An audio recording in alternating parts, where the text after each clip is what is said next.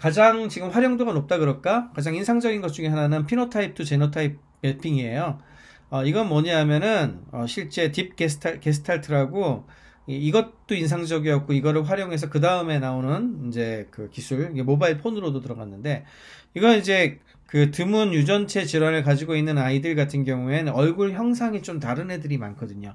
사진을 찍어가지고 phenotype을 이제 만들어내는 거예요. 그래서 눈의 형태라든지 거리라든지 이런 것들을 재는 게 아니고 그냥 사진에서 그 특징을 잡아내요. 이렇게. 그렇게 해가지고 기존에 있었던 어, 그 유전체가 이상이 있어서 나오는 각종 신드롬들은 뭐 다운 신드롬 이런 것들도 있고 염색체 그 딜리션이죠. 뭐 그런 종류도 있고 여러 종류가 있는데 걔네들의 특징적인 얼굴들을 학습하고 있다가 두 개를 매칭시켜 가지고 어, 이렇게 얼굴이 생긴 애는 이런 그 유전체 질환이 있을 가능성이 있으니까 이와 관련된 유전체 질환 검사를 해라 이렇게 알려주는 거예요.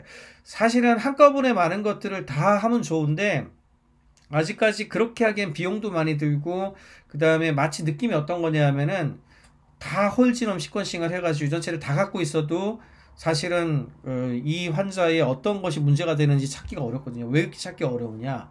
마치 느낌이 어떤 느낌이냐 하면은 어, 거대한 모래밭에 바늘 찾는 거랑 되게 비슷해요. 다 뒤질 수가 없잖아. 너무 데이터가 크니까.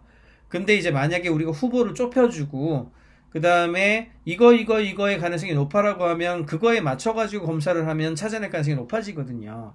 그래서 임상에서 봤을 때는 전부 다 뒤지라고 하면은 너무 힘드는데 의사들이 하는 역할도 그거잖아요. 솔직히 돈만 있고 그 다음에 할 수만 있다면은 그냥 환자 거의 모든 영상 다 찍고 모든 피 검사 다 해가지고 찾으면 누가 못합니까? 그렇지만 의사들이 그동안 쌓았던 경험을 가지고서 이거 이거 이거를 먼저 해보고 이 질환을 찾읍시다 이렇게 하잖아요.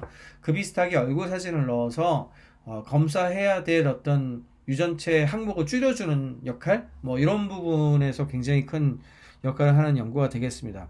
이딥 게스탈트가 굉장히 인상적인 연구였어요. 그리고 나서 이거를 활용해 가지고요. 더 여러 개를 썼죠. 뭐 한 서너 개를 한꺼번에 써요. 어, 이게 이제 어, 이름이 뭐였더라? 예, 여기 어, 여기, 여기 있네요. 이게 페디아일 겁니다. 페디아. 페디아라고 하는 것 같은 경우에는 여기 그림이 좀 작기는 하지만 보시면은 어, 아까 전에 Deep Gestalt 여기 있죠? 예, Deep Gestalt도 쓰고요. CAD, CADD라고 또 이 분야에서 많이 쓰이는 어, 방법론이 있어요. CADD도 쓰고요. CADD 두 종류나 썼네요. 이렇게 해가지고 같이 묶었더니 PEDIA가 이거거든요. 굉장히 정확하게 맞췄다더라는 거죠. patient 카드를 넣어요. photo 사진 넣고 symptom 집어넣고 그 다음에 어, 질병과 관련된 mutation 관련된 것들을 갖고 있으면은 이것들을 쭉 숙취를 이용을 해가지고 스코어를 내고 그렇게 해서 페디어 스코어를 내거든요.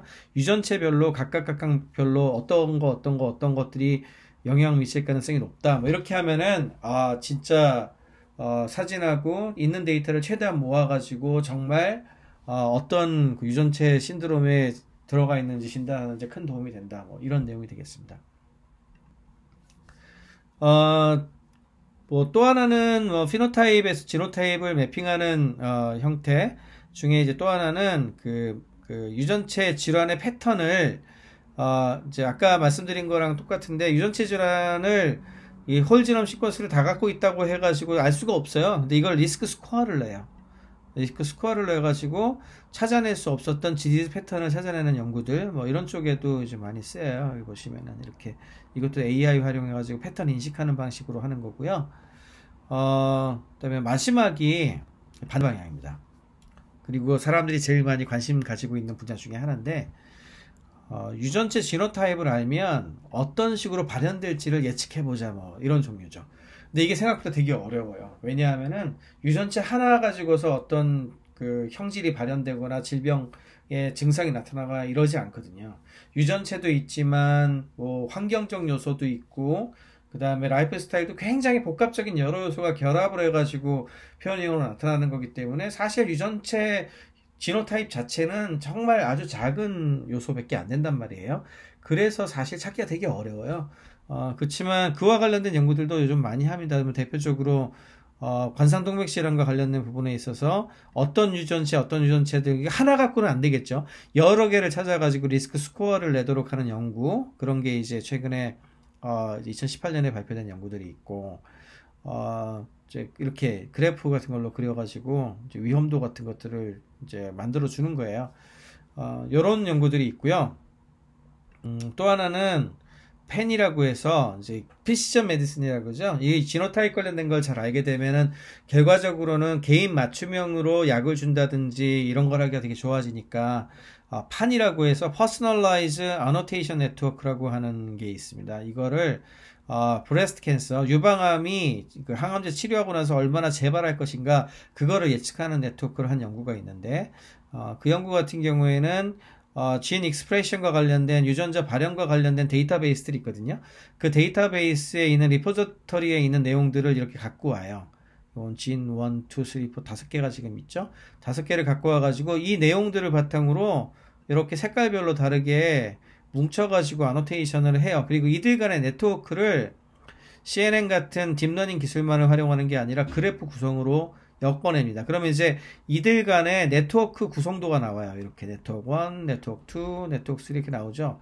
이거를 잘 보고서 추론을 하고 그 분류를 해가지고 어떤 것들이 가장 relapse 그 재발 가능성을 높이는지를 수치화를 해버리는 방식이에요. 이렇게 하게 되면은 유전체 검사를 통해 가지고 이 유전체 검사의 결과에 따라서 항암제 치료나 아니면 수술 후에 이 환자가 그 재발할 가능성 수치가 어느 정도 되는지 리스크를 내볼 수가 있거든요. 이런 형태, 뭐 이런 종류의 연구들도 되게 많이 하죠. 근데 상대적으로 지노타입 2 페노타입 연구가 아직까지는 그렇게 많이 활성화되지는 않고 있어요. 진짜 연구들을 많이 하긴 하는데 어, 정말 의미 있는 결과를 찾은 게 아직까지 그렇게 많지는 않습니다. 그 이유는 제가 아까 말씀드린 것처럼 유전, 유전체 하나만으로 질병에 이렇게 관여하는 게 유전체하고 관계된 질환들을 제외하고는 아직까지 그렇게 안 많거든요. 그래서 이런 것들을 아주 복합적 유전체만을 넘어 유전체를 넘어서 가지고 어, 이제 EMR이라든지 증상 관련된 거라든지 혹은 검사 결과, 이미지 결과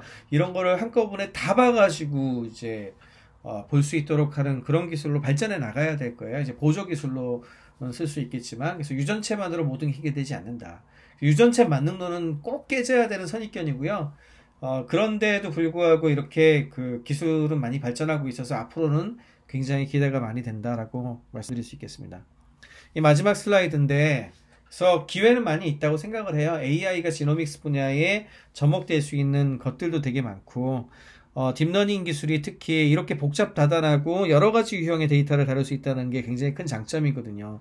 기존에 우리가 알고 있었던 전통적 AI 기술은 특정한 수치라든지 특정한 데이터 타입에 적용하기는 뭐 그럭저럭 뭐 쓸만한데 그리고 또 데이터 사이즈가 너무 크면 안 되고요. 어, 그에 비해서 deep learning은 굉장히 다양한 종류를 많이 밀어 넣어서 어, 처리를 할 수 있는 특징을 갖고 있어요. 그래서 장점이 많이 있는 거죠. 거기에서 functional한 annotation을 한다든지 아니면은 질병하고 관계되어 있는 어떤 유, 그 mutation을 어, 돌연변이를 찾아가지고 예측을 한다든지 혹은 혈액 검사라든지 이런 거에서 얻을 수 있는 데이터들을 쓴다든지 그렇게 되면은 어, 결국에는 약물 이제 functional genomics에서는 약물 타겟을 찾을 수 있으니까 그럼 항암제 같은 거 개발하는 데 도움이 될 수 있을 것 같고 그 다음에 어, disease와 관련된 그 mutation을 찾을 수 있다면 질병의 확진이라든지 이런 데 쓰기 되게 좋을 거고요.